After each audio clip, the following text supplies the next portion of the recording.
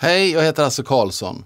18 års föreläsande har lärt mig enormt mycket. Och all den kunskap har jag varit väldigt noga med att föra vidare. Och speciellt nu när vi står inför de svåraste tider vi kanske sett globalt i modern tid. Vad är viktigt i svåra tider? Ja, samarbete. Det har nog aldrig varit viktigare att samarbeta mer än nu. Så här kommer mina tre små tankar kring samarbete. 1. Visa respekt. Vi kan inte kräva respekt. Det handlar inte om att vi ska älska varandra och sitta i en ring och sjunga Kumbaya och så ska allt kännas bra. Nej, vi ska visa respekt för det är då vi ser att våra olikheter är våra styrkor. Vi är nervösa på olika sätt, vi är glada på olika sätt, vi är rädda på olika sätt. Och det är det som ska styrka oss. Det är då energin går åt rätt håll när vi visar respekt.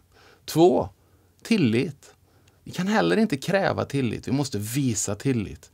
Och när du känner att du har en roll och jag har tillit till din roll, då växer du. Och då växer tilliten i vår flock. För vi är en flockvarelse, det är rätt uppenbart. Så tilliten, den, den, mm, den är inte lätt, men vad viktig den är. För vi, vi måste våga tro på oss som grupp. Och jag träffar så mycket människor. Jag har aldrig träffat en människa utan briljans. Och nu så är det viktigt att vi visar tillit till våran briljans. Att vi tillsammans blir starkare. Tre, vi måste sen bygga en miljö. Och tekniskt sett, Sverige mår bra. Vi sitter inte med 59k-modem. Tack och lov, som föreläsare var jag igång online på nolltid. Tack Sverige, det här har vi gjort skitbra. Men socialt, det finns ett uttryck social distansering som jag tycker är vansinnigt. Jag fattar tanken, men det är fysisk distansering. Socialt måste vi bli ännu tajtare, även om det är en kameralins emellan.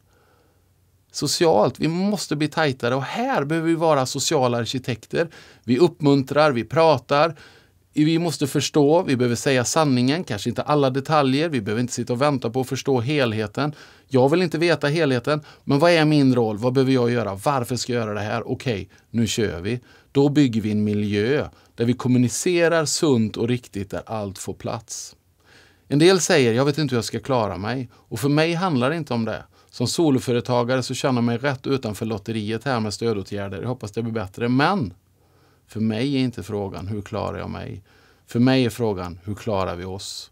Och det bästa är vi har ett land som just nu sjuder av energi, av idéer, av kreativitet och en framåtanda som är fantastisk. Samtidigt som allt det där tuffa finns. Men jag tror på oss.